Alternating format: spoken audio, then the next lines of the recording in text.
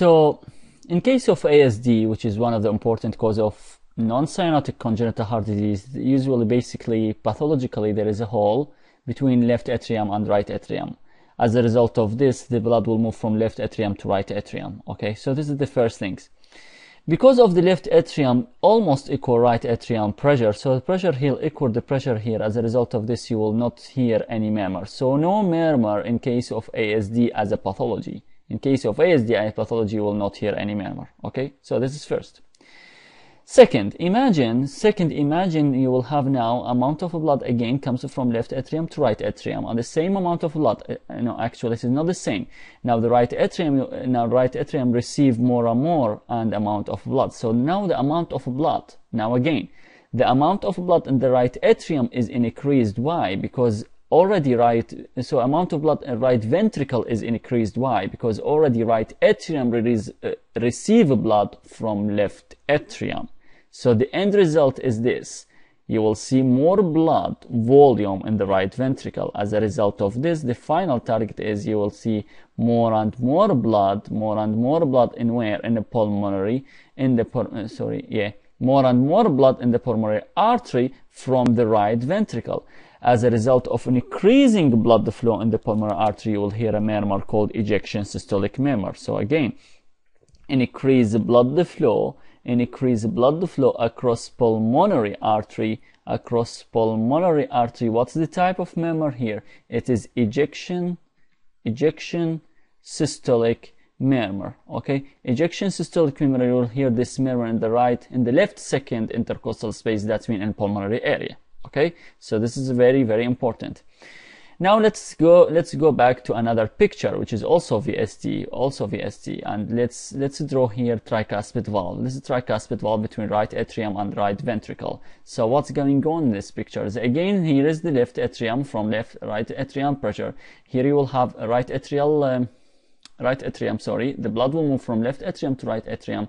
Here you will have now again much blood, much blood will go to the right ventricle. This blood now will hit will hit the tricuspid valve or or comes across the tricuspid valve as a result of this increasing amount of blood that's hitting or coming across the tricuspid valve. Now you will hear, you know, this all amount of, you will hear another type of murmur, which is diastolic rumbling. So why I have diastolic rumbling? Because I have increased blood flow across the tricuspid valve. As a result of this increasing blood flow of this tricuspid valve, I will hear now diastolic. Now I hear I hear diastolic rumbling. I hear a diastolic rumbling type of murmur, which is basically in the tricuspid area. Final things, and again the same picture Usually it is the same picture, but I just draw it three or four times because we need to make it clearer. So again, the same thing, the same amount of blood now, or, um, a, more amount of blood comes to the right atrium, and more amount of blood comes to the right ventricle. As a result of this, again, you will have more and more and more increasing blood in the where? In right ventricle.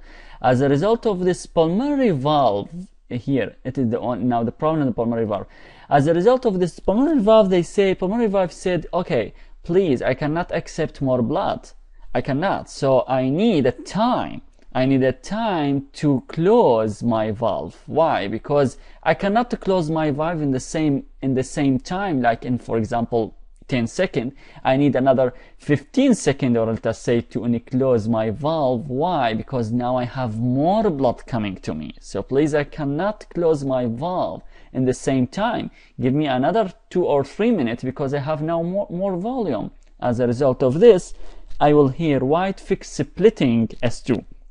So again, why wide fixed splitting S2? Because excess because excess blood on the right ventricle, so excess right ventricular blood will go to the pulmonary artery. Now I will have delay, I will have delay closure of delay closure of pulmonary of pulmonary valve as a result of this delay closure of this pulmonary valve. Now I will have now I will hear wide fixed what's wide? Fixed splitting of S2 so now I uh, now I think there are four Four features which are easy. Y wide fixed splitting of S2 because delay closure of pulmonary valve. The second one diastolic rumbling because the tricuspid valve more blood. And the third one is pulmonary valve more, pulmonary artery more blood. That's why I will hear ejection systolic murmur.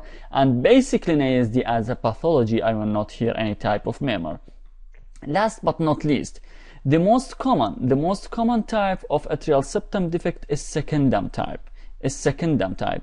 But in case of Down syndrome, in case of Down syndrome is primum type. So in case of Down syndrome is ostium primum type is much common and usually with endocardial cushion defect, usually with endo cardial cushion defect in case of ASD. So in, in case of Down syndrome. So again, Down syndrome patient primum type is much it's much common, but all over most common is secundum type of ASD.